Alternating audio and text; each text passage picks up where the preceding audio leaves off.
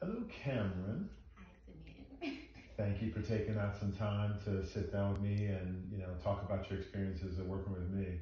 And one of the first questions I was always ask, I always like to know is how was you? How would, what would you describe your experience working with me as a realtor and you as a first-time home buyer? Okay, well, being a first-time home buyer, I had a lot of questions, and I feel like you were very knowledgeable and you were very prompt with answering my questions if I had any questions, I asked you, mm-hmm. and I feel like that really eased my nerves in the entire process. Well, that's good. I appreciate it.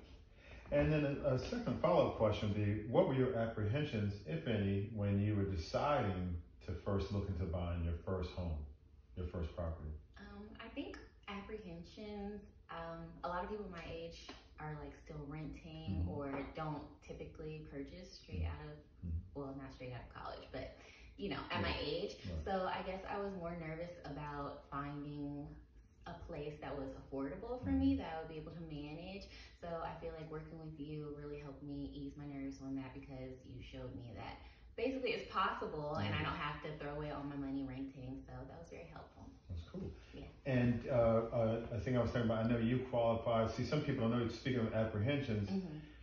typically some people are worried about whether they can afford a home, do they have enough money, credit, something like that. But we were able to find some programs for you because of your college experience or your, you know, whatever, like some first home buyer programs with some grant money. Right. With how did, did that make a difference and like how much money you needed to close? Oh yeah, I think that definitely made a difference because you remember at the end I was a little nervous because yeah. the lender was saying one amount and I thought it was a different amount, yeah. but you were able to get me help on the end so that I didn't have to pay so much upfront and um, the closing costs, which was really helpful. Right.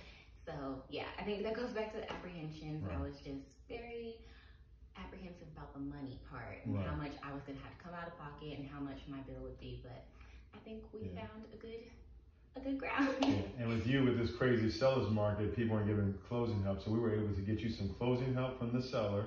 And then it didn't appraise as high, so you actually saved money right. off your purchase, and you got grant money, and you got so it worked out. So would you, what do you think? Would you work with me again or recommend somebody? Of course somebody? I would work with you again. Of course I would recommend right. you. Right. this wouldn't have happened without you, so of course. All right. Well, thank you for your time. I appreciate it. And congratulations on your new home. Also, I see that you kind of like making, you know, you've done some TLC in here, some painting, some flooring, something. Yeah, I did painting, um, got new light bulbs for this here and a new couch. So it's coming along. It's yeah. Coming along. All right. Well, good. Congratulations. Thank. All right. Take care.